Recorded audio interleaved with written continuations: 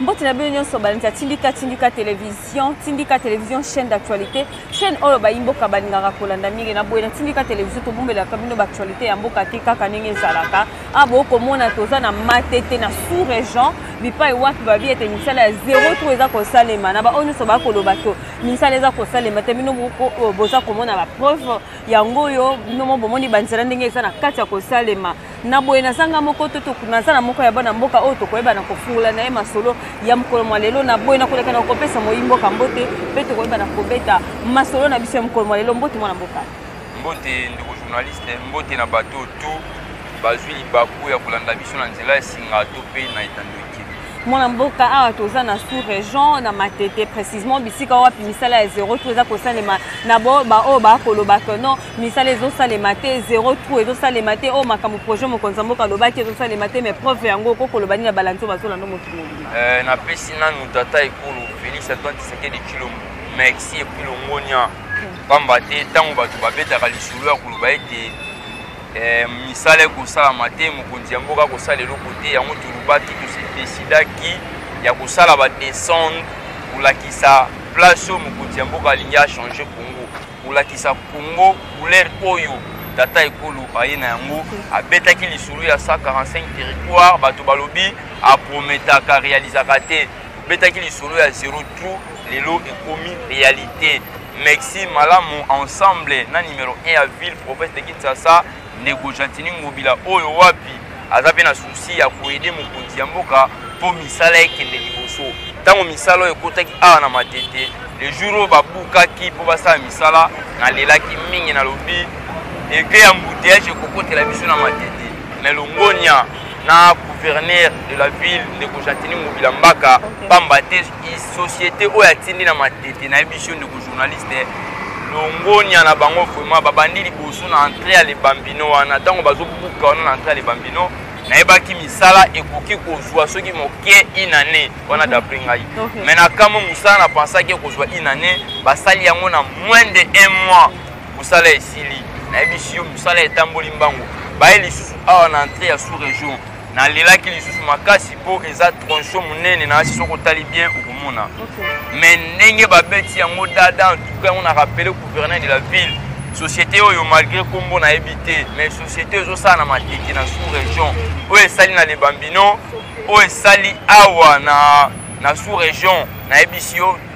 mokonzi kotika bango te toza nde na besoin na bango bakita place nyonso mpo bazosala mosala mbangu epuis rapide toza na susi soki bato bakiti ye place basala misala erumelaka te mpo ede biso embouteillage na nzela ezala te lolenge susi to ede biso bazwi un peu de temps mai naye biso mama journaliste mosala eke mbangu lokola mokonzi ya mboka aza na susi ville na biso ebonga zero trou Les bisous ezala ata moke te na prince toza na besoin ya ba société ya boye mhm. yango na rappele ndeko gentini ngobila mbaka gouverneur de la ville société oyo nayebi nkombo te mais bazosala mosala kitoko nalingi longola société oyo tya na victoire wana botola bango marché pesa société oyo moto mosusu akomona lokola bapesi nga kaniaka bapesi nga kaniaka te mais nasepeli malamu mpo arrive na bango na matete misala etamboli mbangu baza na trois place bazosala mais deux place oyo basali nayebisi yo ezwi biso ata un mois te bakokule rapide bazobuka rapide bazofungola mbala moko place ya liboso basali na le bambino bafongoli deja nzela bakamio ezoleka epuis awa mpe bayebisi nga après une semaine bazofongola bazonga sikoyo na pont wana donc société oyo azomerite azwa marché nyonso ya ville mpo bazosala mosala kitoko mais baoyo baa koloba ke non misala ezosalema te depuis balansa misala yango tomonaka preuve moko te nayebisi yo tata ekolo félix antoine tshisekedi tshilombo aza valeur biloko tu alanse akomi korealize abeta lisolo ya 100 jours bato bayibi kaniaka ntango bato bayibi kaniaka bato balobi eza baventire eza ndenge na ye bato babenga soti mouton soti chevre lelo lisolo ya soti mouton ebetamaka te eza misala oyo mokonzi ya mboka alobaki ekosalama esalami abeti lisolo ya 145 territoire bato baseki fmi apesi biso mosolo mpo tobanda misala bato bakamwe abeti lisolo ya 02 bato balobi eza baventire ndeko gentini ngobila mbaka mpe aye alobi soko to ekosalama na congo bato baboyi me lelo zero tuna ya congo nayebi sio eloko ya koloba eza lisusu te tata ekolo aza na besoin congo elata elamba ya sika ensemble na gouverneur jatini ngobila mbaka mosala ya kokende liboso biso toza nsima ya mokonzi ya mboka tolobaki tokosala badescende partout mpo tocomprendre ke mwa communication na biso na idps ezalaki na se mpo tolamusa yango mhm. biso baprésident ya parlement debout tose décide tokosala badescendre place nyonso mokonzi ya mboka azosala misala mpo tolakisa lolenge tata ekolo aza na besoin ya changement bato babeti liso balobi o oh, mokonzi ya mboka mboka ekotambola bien te te tokochangeaka congo mbala moko te mhm. tokozwa te congo lokola mai ndenge yesu abongolaka mai vino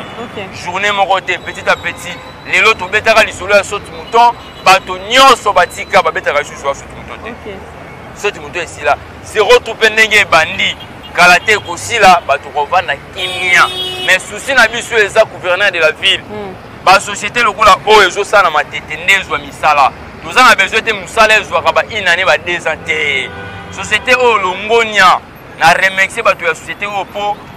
basali eloko nga na satande nango te nayebaki ndenge baye awa une année matete mosala ekolala me basali mbango na ndenge ya kosakana te vision ya mokonzi ya mboka eza changement eya na etandi mobimba ya mboka na biso mikolo ekoya epuis nasengi na gouverneur de la ville mhm.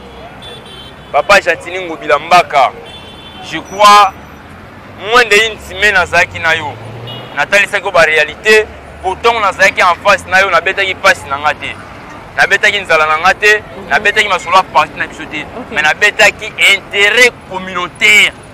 nabetaki lisolo ya biso ya matete nabetaki lisolo ya bana ya kongo mobimba yango mpe nasengi na yo avant na na kati ya lisolo na biso ya matete nasengi na yo bato ya ba ong oyo otyaka mhm. Soki ba komboli bazuaka zelu babuaki na na ba carnivaux baza parmi bato bazo boucher ba carnivaux. Bato bakoma na banzela. Oui. Baza parmi bato bazo boucher ba carnivaux. Donc misala na bango basalaka basalaka eloko te. Bakokombola na nzela, bakomboli na nzela bake na zelu babwaki na carnivaux baza okay. parmi bato oyo bazobomela biso matete okay. mosala esalamaka bongo te zongisa charge ya misala ya commune epai ya bandeko bourgmestre renforcer osoi tozwa ba ong wana tya bango ya contact na babourgmestre babourgmestre bayebaka basurveyaka bango mpo basala misala kitoko ta ndenge mosala ekosalama kitoko na mateta me okomona bango soki bakomboli mpo point so eza seko na seko oyo mhm. eza beton au grand donc ndenge tolobaka bati beto awa te mwana mboka hmm. esuki awa te te esuki awa te eza lisusu liboso kuna mpe basali donc en tout cas société oyo longonia nalobi mpe na longonia na na na na na i congolais na ko défendre intérêt ya ba congolais mais société en tout cas longonia nasengi na bourgmestre et les parents nasengi na ndeko gentini ngobila gouverneur de la ville société oyo pesa ye bamarché ebele mpo ndenge asali na matete ebangisi ngai natuni meme bato oyo batongaka bamasonerie mm -hmm. nayebisi bango comment fait-il société okorumela te baninga bakorumela bayebisi ngai eza problème ya victoire wana banzela na ewumeli makasi po esila normalement yango bayebisi ngai société oyo baza na bonne foi po comment fait-il mosala na victoire wana bakokanga nzela me mosala esalamaka te sikoyo ozo condamne bango basi osala kuna te nazo condamne bango nayebisi oh, gouverneur de la ville abotola bato wana ya victoire marché baza bavantier baza baantivaleur mokonzi ya mboka alingi baantivaleur te na congo alingi bavaleur tata ekolo abundela bavaleur félix aza valeur mpo bapromesse nde to azo réalise mhm. Gouverneur de la ville, société Oyo, Balesinga ata 100 francs te. Misala na bango nde na miso emonani na un peu d'etat baye na matete ba réaliser. Botola ba marché na ba société ba aventurier, pesa bango basala mosala mbangu mpo mokonzi ya mboka alingi ville ekoma kitoko. mwana mboka mokonzi ya mboka alingi ville ekoma kitoko me eza na bakomi mosusu tolongoli na makambo ya nzela tokende makambo ya bakaniveau eya na bavenu mosusu bakaniveau ezalaka te omoni omona moto atongi na ye ndako ya kitoko me liboso na ye terase eza te na avenue monene mais caniveau ezalaka te ntongo mbula ezobeta mai ezodeborde ezokotela ti na kati ya mapango mai na sikoyo lolonga ya, ya makambo ya bongo yango nayebisi yo tata ekolo aza près 145 territoire eza bapanti te biso komi na biso matete toza parmi bakomini efo echange matete eh, pardon kongo mobimba ekolata elamba ya sika mokonzi ya mboka ntango akobeta lisolo bato bamona lokola bavanti félix aza valere félix azwi kongo na zombre rouge place oyo tozalaki na kapasité ya koya te akuti kongo ekufa ntango abeti lisolo alobi mboka esi ekufa me biso toye kobongisa mhm. toye kobebisa te toye kobongisa mokonzi ya mboka ntango aye au sommet de l'etat alobaki yango azalaki claire alobi kimuibi oyo namonaki na congo etikalaki moke naloba lokola maréchal mobutu alobaka mhm. zwa ata ndambo azalaki claire mpo akomponaki congo esi ekufa me ye aye kobebisa te aye kobongisa kobongisa yango misala ezomona na miso kobongisa kongo yango oyo suite ya makambo ya bacarniveau tata ekolo nyonso to ekozala résoli kiyengola mais na kondane kaka bato ya bandeko ya ba ong gouverneur de la ville nayebi ke naza moko ya bacommunicateur oyo voi na ngai ekendaka makasi nazalaki na yo jeudi nayebisaki yo makambo epuis descende ya ya chargé de mission esalamaki lobi akopesa yo rapport nayebisaki yo jeudi toza na besoin napesaki mpe rapport ya bato ya bandeko ya ong nazobomela bino marché te me nalingi mosala esalama normal mpo mosala esalama normal bandeko na ngai ya ong soki bokomboli boluka bouete bozwi bouete boluki place moko boke bobwaki botika kobwaka bazelo na bino na carniveau hmm. toza na besoin soki mbula ebeti mai elekaka alese tala beton basaleli biso eza lokola faci beton ye mokotala beton oyebi oh, ke na bypass mpe balumière publique eza te po batyela bango mpe balumière po bayeba kotonga banzela gouverneur de la ville nayebi déjà ke partout na vision ya faci po vision tu ezosalama lelo eza faci numero 1 ya kungu ensemble nayo gouverneur de la ville gentini ngobila mbaka ozo accompagne mokonzi ya mboka oyebisaki biso ebele oza na besoin chef de l'état na 2023 mm. azwa majorité oza na besoin chef de l'état congo ecompagne ye na misala na ye na route bypass pelisa lumière biso na matete deja opelisaki mpo mosala ekosalama na matete ade epelaki okay. epelaki epui epelaka mm. oyebisaki biso vision na ye eza mokonzi ya mboka il faut basentir faci beton na misala na ye beton yango tomoni tosepeli pelisa mpe na route bypass balobi lumière kuna ekopela te pelisa mpo mokonzi ya mboka azala alaise ok merci beaucoup mwana mboka euh, tozokoba euh, lelo euh, likambo ya kokamwa balobi ete bato nyonso oyo basala na batongi bandako na sa bacable ya courant il faut bademolir bandako euh, na baoyo nyonso bateka na bacoin ya nzela euti bongo na gouverneur de la ville parce que jamais mobeko ekoki kobima moko te wana efana le numero 1 aza na nsima ya mobeko yango après basangisi makanisi mpona koyeba kosanctionne baoyo nyonso bayebiki na kotonga bandako na sala cable ya courant baoyo baoteka na banzela euh, puis euh, na baoyo nyonso batekaka baeau pure baoyo nyonso batekaka baeau pure soki ozalaka na, na, na nini mashine na to ozalaka na entreprise no ya eau pure na ndako epekisami koteka eau pure finalement sikoyo bato ya bongo bakosala bakosala nini to mpe bakosuka wapi ouais merci nazalaki jeudi na hotel de ville namonaki ba maire de la ville nyonso bazalaki wana namonaki bapolisier bakomanda ya basiadi bazalaki wana je crois eza place oyo basololaki mpona mokano wana eza important omoni kala mingi te tozwi dossier ya matadi kibala mhm. toyebi ke toza na mpasi na congo mais dessus un peu d'état mokonzi ya mboka azosilisa mpasi wana mhm.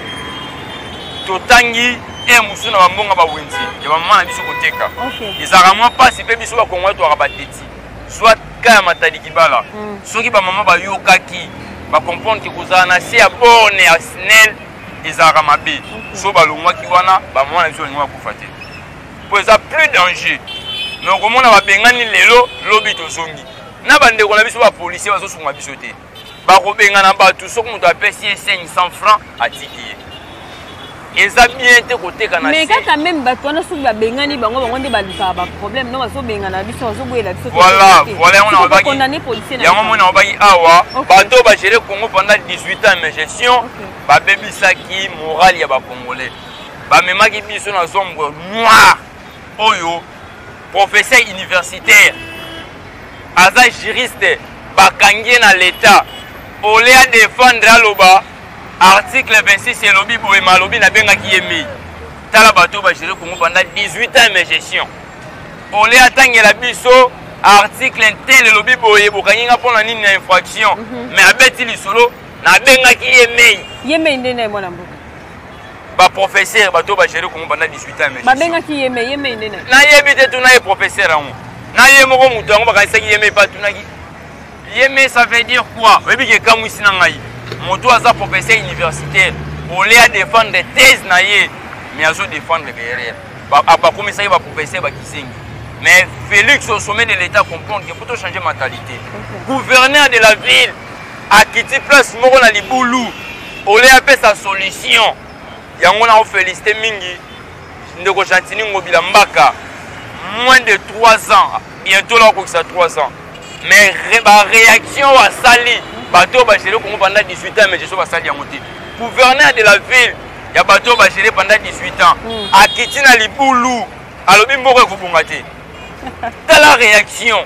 ya bato oyo bagere pendant 18 ans mais je suis au gouverneur de la ville numéro 1 ya ville okiti place omoni kaka libulu alobi moko ekobonga te me ndeko jatini ngobila mbaka aye mpe na comportement esikaloye mpe voila mpe bakomona koremarke okobwakela euh, moko gouverneur de la ville okobwakele bafleur mpo na mosala eye kosalema mais eza na bango nyonso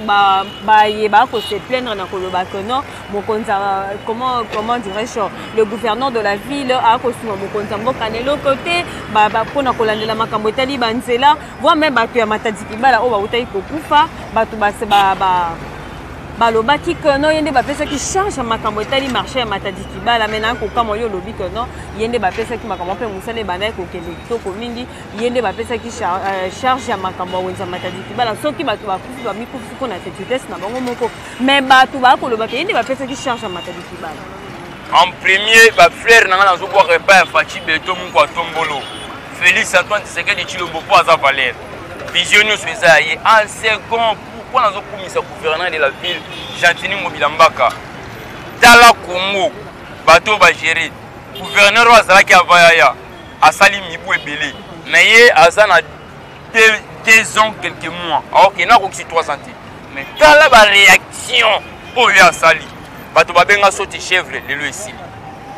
zero tour ezalaki lisolo réalité ekoti beton lokola faci beton na mati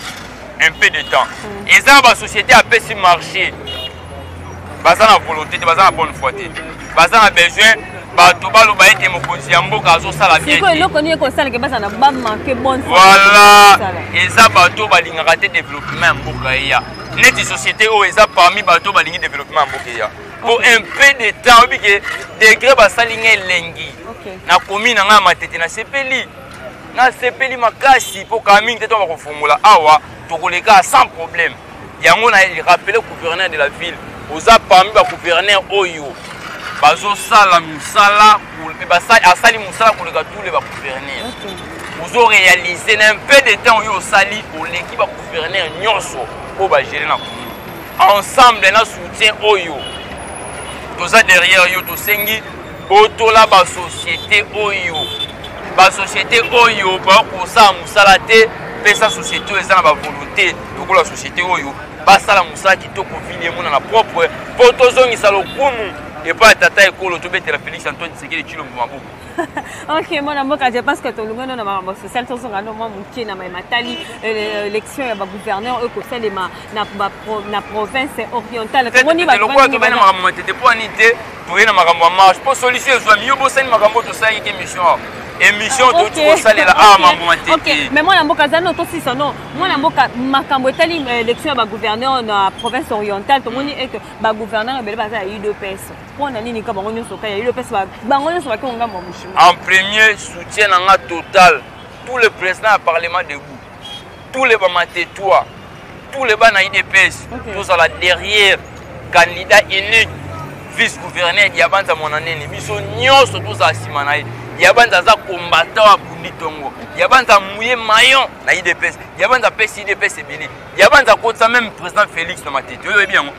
diabanza akotisa président félix na matete epuis président félix ndenge aza président wana kokiti na matete na likambo ya terrain soutien total derrière diabanza mwana nene candidat unique vice gouverneur mm. politique basala yango na mayele basalaka politiki na mbongo te mm. ke bakomexa akoki koya na politiki mpo aluka mbongo na ye mm. yango tozo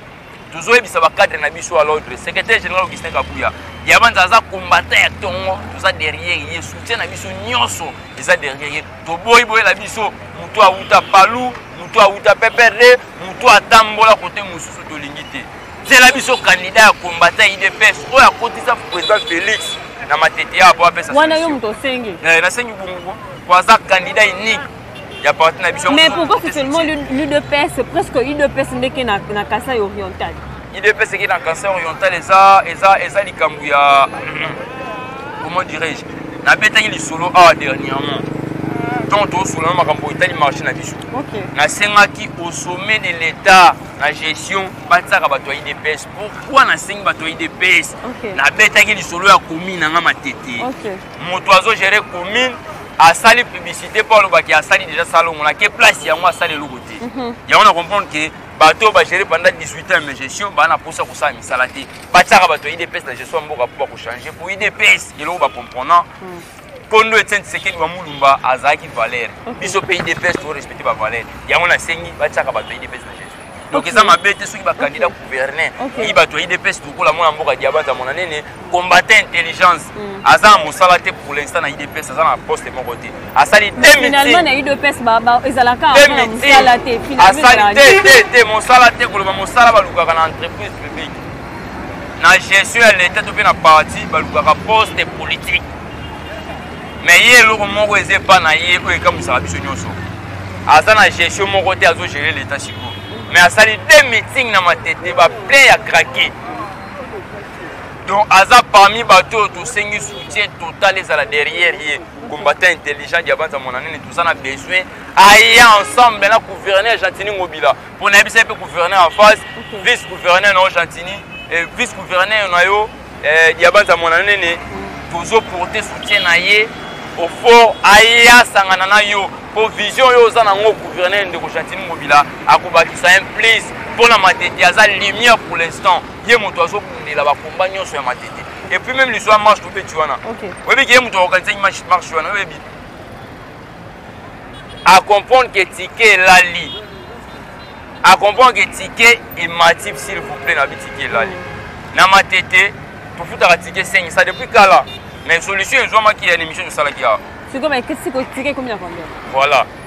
ntango mwana mboka combatin intelligent diabanza mwana nini hmm. eloko oyo nazwa yango mpe epa na ye ayebisa ngai komba eza kaka te foki kozalaka na limete mpo ozala kombata okoki kozala na matete mai limete eyoki soki kombata moko intelligent na matete danger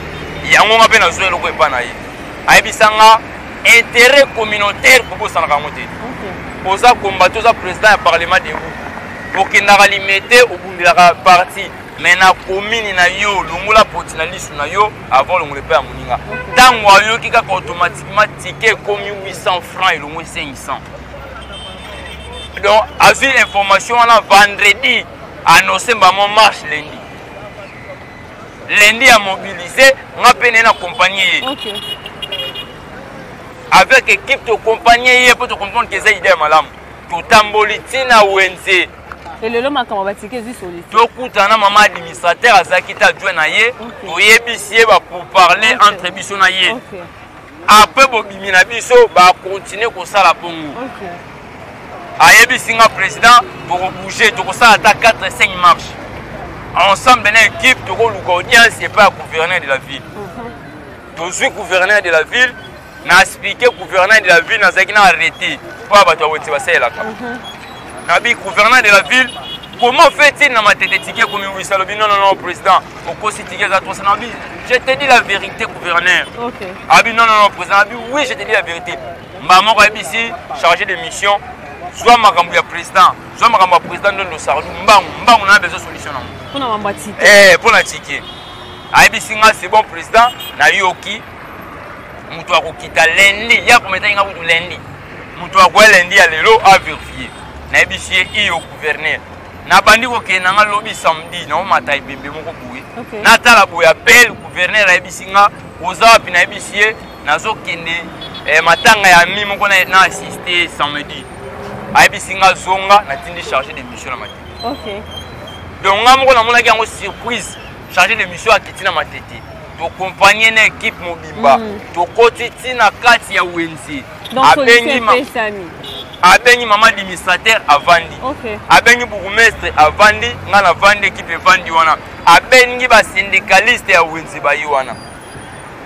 batuni mama administrateur tike ekoma 800 mpo anabi te tolingai totya 800 totya 7 atuni ye pourkoi mm. babimisi mokanda ya lokuta a ah, mboka oyo eyebani te ntango mokonzi ya mboka aloba ye kobongisa ye kobongisa ya solo babimisi mokanda ya lokuta epai ya mama administrateur azalaki na ndeko moko pembeni abandi kolakisa mokanda wana na mokanda wana elakisi tous les wendiens esi basigne epai ya ministre tike mata 700 wana selo mokanda na bango bazalaki nango ministre wapi asignaki mpo na tike mata 700 na ngai moko kutu na kokamwa ntango obandi koloba bongo nayebisi yo ndeko na nga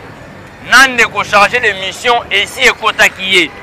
mais lokola nga na discutaki na, na okay. gouverneur mm. natuni mama administrateur oza na leçon yo okopesa gouverneur atiaki mpe mo monoko apres nasengi bandeko ya basyndicaliste bapesa nga papier na bango ntango mm. bapesi nga papier na bango Tobandi kotanga papier malembe. Arrete oyo eza signé le 2 décembre 2021. Donc arrete oyo bazosalela sikoyo hmm. le 2 décembre 2021 ticket ezalaki na 300 babakisi 100 francs ekomi 400 francs. Hmm. Donc ntango ekomi 400 francs il faut ezala bongo na arrete. nazwi napesi ndeko charge de mission atangi arrete ntango hmm. atangi arrete Maman administrateur azomeka kaka ko convaincre ye alobi mm. omoni 400 fois wana eza mpo ya tike bato ya assainissement bato oyo basalaka sécurité totyelaka bango 200 epui nini esala ekosala nango kaka 700 toye libanda mpo ndeko charge d'émission aanonce tike 400 franc mama administrateur alobi loba 400 franc le reste bokozwa na wenze ndeko charge émission mpe aya bandi alobi ticket désormais 400 mais le reste bato tout bazalaki mécontent ntango hmm. bato bazalaki mécontent tozozonga mingi kaka na makomi nasengi lisusu bandeko ya syndicaliste bapesi makomi mpo congo désormais lelo ekoma makomi okay. totali makomi tobaloli charge de mission atuni mama adimisa te tike eza 400 na banini botyaka nini o oh, sécurité sécurité nde tomoni na kati sécurité eza implike kaka na 400 franc totuni ye lisusu apart sécurité nini alobi bato bakombolaka totala eza na carton sécurité eh, eh, securite bato bakombolaka epuis bato gestion nyonso ya wenze hmm. gestion nyonso ya wenze hmm. ezalaka na kati mbala moko chargé de mission ntango atali ayebisi mama administrateur ya matete hmm. tu as sérieux problème avec moi je crois chargé de mission akomisaki ndeko jatini ngobila akonfiaki yo mhm. Monsieur Somi, chargé de mission. En tout cas, osalaki mosala kitoko longonia na matete. Bamama batandaki maputa, bamama bagangi, babetaki maboko. Je crois rapport na yo epai ya gouverneur ekomi. Soki mpe ekomi te, ngai mpe nakosala effort ekoma. obelelaki nono motuna moko hmm. depuis mokolo bokendaki yana yo oza sur que ti lelo bazofuta ka 400 bazofuta 400 franc tokoverifie olandeli yango oyoki bazofuta 400 ezalaka kabo apres na nsima okoyoka oyo ezalakachite comprendre bato bazofuta 400 franc ntango ndeko chargé de mission aye na mégaphone devant commune ere annonce mama administrateur alingaki asalisa erreur aloba 400 le reste ba detail ekoya r atangi mokanda oyo elakisi ke 400 franc biloko to eza implike hmm. la police tout bazwaka mbongo na kati ya 400 franc wana 65 pourcent ya wenze 600 pourcent etikaka na matete hôtel de ville azwaka pourcentage mokie azwaka kaka 35 pourcent atika 65 pourcent na marché ya matete mpo misala esalamaka r ndeko charge de mission monsieur soni atangi mokanda En face, en pleine bato ayebisi mama administrateur il y a un sérieux problème avec moi. Okay. J'ai compris que sérieux problème on ezalaki na kopesa rapport epai ya numéro 1 ya ville province de Kinshasa oyo eza bongo ndeko Chantini Ngobila Mbaka. Okay. Eh, mwana mboka. Et puis, okay. okay. tokoti na ye ti mpo baboyaki akota na wenze. mais nasalaki insistance nalobi il faut okota na wenze oloba na radio mpo bato tu bayokaka etiki ekomi 400 franc mm. akoti ti na kati ya wenze alobi na radio tike ekomi 400 franc ata 100 franc moko kopesa te donc 400 franc ngai nayi mwana matete soki bato batandi maputa matete ningani ya kosakana te longoni ya ndeko chatini ngobila mbaka po eloko nayaki kosenga yo okay. eloko otoki kosenga yo na ekipe opesi ekipe solution mexi na biso bana matete tosepeli to encourage ba biloko ya boye mais tokotika mpe te tokokontinue toujours na kotambola soki baose turo tokoya mama administrateur dégage soki baose je te dis bien soki baose hmm. tokoya mama administrateur dégage epuis bourgmestre ya matete tosololaki no wana ndeko raphael kasulu soki mpe baose bakontinue bongo mm. bourgmestre ya matete dégage mama administrateur ka totourne ka autour ya social eloko mosusu eza na wenze biloko eza ya komata soki okoti na wenze mpo osomba eloko soki oke na 20 dollar na wenze oyebi te okosomba nini oyebi te okosomba nini okoyebaka 1 kilo ya thomson 1 kilo ya thomson eza ya 7500 francs 1 kilo ya thomson mpe bakoti eloko ambie na 1 kilo bakoti eloko ata 4 ata 5 soki eza ebele kokota 5 na 7500 finalement solution ekomonana mokoni mpo na mambo wana ya soutien bon ti jusqu'à présent biloko eza ya komata na bawenze donc okenda mbongo na wenze boye moye osomba eloko eza te ozomona ke 20 dollar eza na valeur te osimbi mbongo na maboko omoni mbongo eza na valeur te mwana mboka donc tokokenda 1 kilo ya tomson 7500 francs 7000 francs mwasi eh, eh, okende boye tomson oyo baotie longo 5 4 o babiloko oyebi teke biloko eza ya komata moyen mpe bato badeklare eza te mwana mboka je crois en premier na koya mpo mokonzi ya mboka alingi solution mais en second eh, pardon ministre ya économie incompétent avant na répondre ndeko na ngai tata ekolo félix antoine sekedi tshilombo nayebi ke biso baprésident ya parlement debout ndondo sardo tolobaka verité tofingaka te opekisaki biso olobi bofinga te boloba verité hmm. ministre économie ntango ozo redimanie azonga te longola ye aza incompétent mais ndeko nanga kobosana te gestion ya congo par rapport ya bato bagere congo 18 ans mais gestion na tata ekolo eza différent okay. touti na maladi covid-19 ti sikoyo ezali okay. tokutani na baserieux problème oyo ekonomi eza kaka ya biso te ya congo monde entier ekonomi ebujaki biso ekonomi ya mboka na biso eza extraverti esengaka toimporte libanda mpo epermettre stabilité na ekonomi ezala mais pendant période ya maladi tokomaki na difficulté ya koimporte mpo bakangaki bafrontiere banzela ezalaki mpasi tobima mais tala espoir oyo felix asali toza bato oyo tokobeta lisolo te lelo kongo 10 milliard toza bato oyo te tokobeta lisolo lelo projet ti le gelou toza bato oyo tokobeta lisolo lelo te 145 territoire mm. toza bato oyo tokobeta lisolo lelo te zero te pourquoi nalobi bongo mpo pendant ce temps là oyo esalaki ete ekonomi ya monde entier ebouge bongo biso na congo bato bagere 18 ame gestion batikaki 4 milliard tozalaki na kapasité te ya koya place toye mais na volonté ya mokonzi ya mboka na souci ya président de la république félix antoine tshisekedi tshilombo bato bagere 32 ans je crois soki tobeti lisolo lelo na parcours ya ntango mokonzi ya mboka asali bakotelema te bato oyo bagere 18 ans mais gestion soki lelo tokoma na ba rwandais awa eza grâce ya bato ba gérer wana soki lelo tozalaki na baproblème na congo na afrique mobimba ezalaki grâce ya bato ba gérer wana na mokonzi ya mboka ntango aye aefase alongoli biso rankine na bapays nyonso ya afrique alongoli biso rankine na bapays nyonso ya monde abimi le meilleur stratège du monde d'afrique te pourquoi abimi le meilleur stratège du monde po avandisi ba president azongisi contact na monde entier lelo etangelanga pays oyo ebesi aza ni rankine monde mobimba toza à l'aise na babitu nde omoni bexi ebimisi félix le plus stratège du monde place marco aza félix abimi abimi le premier place ba différents pays baza ba différents présidents ya ba pays baza mais moto babimisi ye moto ya yango tata ekolo eloko obeteli nga wana wi nayebi nakokosa te na etando ikenga nakosaka te mwa biloko eza ya komata mais place na ye na yo moboko ya likambo nalakisi yo ete tata ekolo aza na volonté ndenge tomoni lelo zero tro esami na matete ndenge mpe tokomona changement ekoya na bino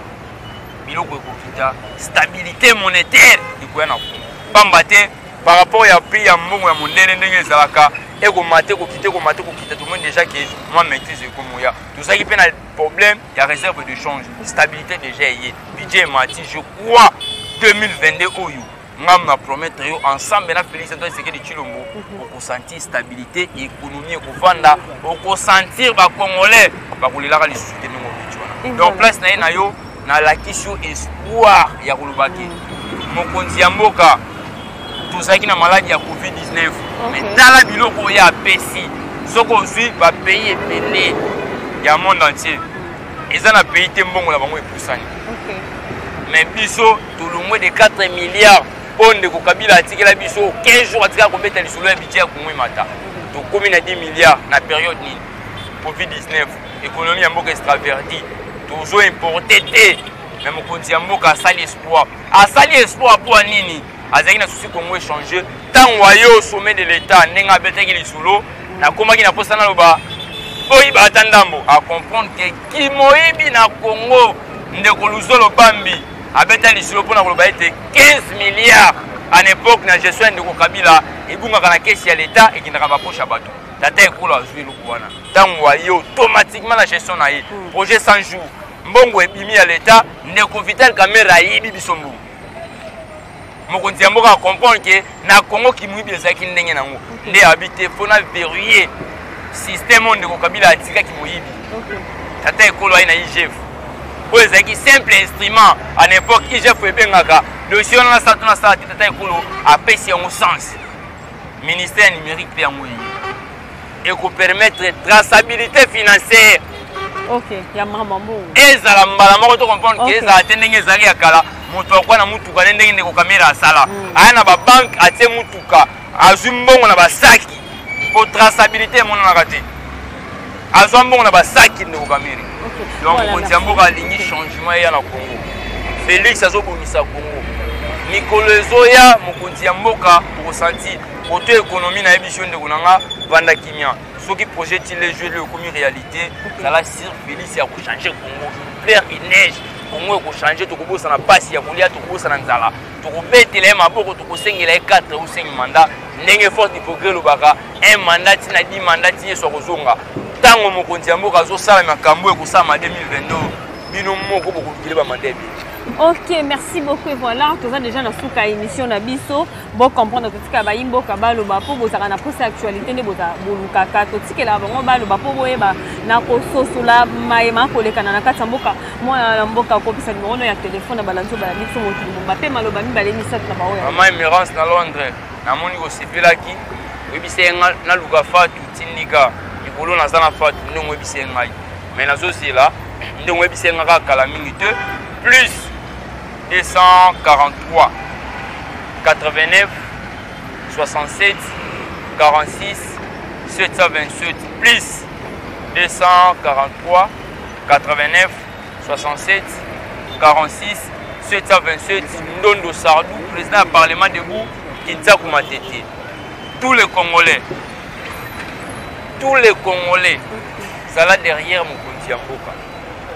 tala biso ba président ya parlement de boule mosala oyo tosalaka tozwilaka yango lifuti te intérêt communautaire nabundelaka parti na nga na commune na nga mpe nabundaka nazobunda te mpo mwasi na nga na mwana na nga balia te nazobunda mpo tosauve bato ebele na remercie lisusu idee na biso ya matete diabanza mwana nene na vision oyo okotisa biso bana matete e permettre lelo ticket na matete ekoma 400 francs eza grâce ya combat na yo merci na combat oyo olakisi biso na matete puis peuple congolais tosasire na félix kala mingi te tokolia tokoleka ok kala mingi te tokolia tokole mais voilà toza déjà na suka ya émission na biso euh, merci beaucoup na balandi nyonso ya tindika tindika télévision kaka nde bokomona ezalaki nde likambo na mai matali operation zero trop bakoki koloba ke mokonzi ya mboka akosala eloko te bota nde tootoka na sa moi nyonso na mpona kolakisa bino baprove ya misala mokonzi ya mboka akosala elongo na mwana mboka gentini ngombila mbaka bakosala mosala malamu longonya na mokonzi ya mboka euh, félix antoine tshisekedi tshilombo un grand merci à vous cher abonné boko s'abonner massivement na tindika tindika television na pesi mbote na ba boss na nga papi keli rufe kisombe na pesi bango mbote bisika bazali ezaki bongo ngai wa bino fatu chamala nga na bino tokutani mikolo mozali koya au revoir